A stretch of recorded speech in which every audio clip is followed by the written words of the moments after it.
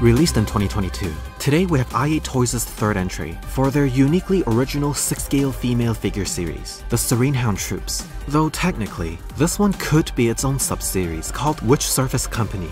And for a bit of context, definitely check out the reviews for this line so far if you haven't already. Link in the description as usual. Either ways, one thing remains the same. I still don't know how to pronounce the names of these characters. But this time, I asked an expert to identify the name from the Chinese version of the story blob, and here's what it sounds like.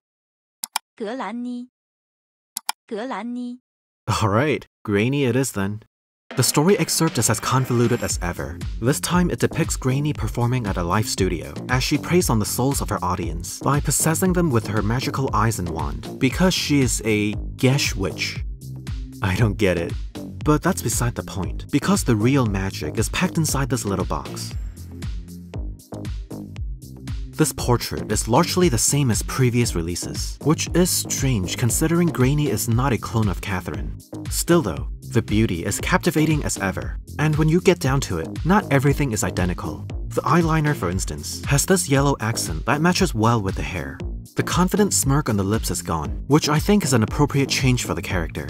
The hair is definitely an upgrade. Grainne is rocking that oxhorn style like it's nobody's business. Even the two buns are each shaped like a rose. And finally, the most notable difference is an additional option for the eye colors. And while we're at it, i8 Toys' trademark crystal eyeballs make a return, so you can expect the same mesmerizing sense of depth in the iris. The posing mechanic is unsurprisingly just like before, and getting to the peg still requires a great deal of diligence. But since there's more wiggle room between the face and hair this time, the faceplate is a tad safer from paint damage. Slip a piece of paper as buffer between the face and hair, part the hair sculpt on the sides, lift up and away from the face, then remove from the neck. Naturally, the peg extender for moving the eyes is back. What is new with this release is this alternate pair of black eyeballs for when Grainne's witch powers are active. I was afraid the eyes would be incredibly difficult to swap, but it really isn't so bad, so long as you gently pull with pliers like the instruction suggests. These eyes are a great twist to the otherwise somewhat similar faces of this line. Not that this Genos from One Punch Man by threezero was awful, but the allure in Grainne's eyes are much more sophisticated in comparison. Now, before moving on, I want to show you something that's not for the faint of heart. Ready? yeah. So it seems the black dress underneath was not completely dried before assembly, leaving some stains on the chin that I wasn't able to remove. And the same goes for the clear inner jacket. It's a resounding bummer to be sure, but the upside is, the stains aren't too noticeable. In fact, I was already halfway through filming the beauty shots before I even realized there was a problem. Hopefully this isn't a widespread issue, so if you're getting one of these, this is definitely something to watch out for. Beyond that, the costume design is otherwise brilliant. You practically get three different setups here. Starting from the bottom, the base dress is form-fitting and provocative, with a symmetrical open chest and back design, ending at a mini skirt length with these cute pipe folds. Then we have this transparent hooded jacket that looks and feels like Joi's PVC raincoat from Blade Runner. The material is stiff but manageable. Yes, it's a bit stained, but luckily none of these cool prints and logos were affected. The zipper and clear pockets actually work, and I really dig these elastic trims. Next is yet another hooded jacket.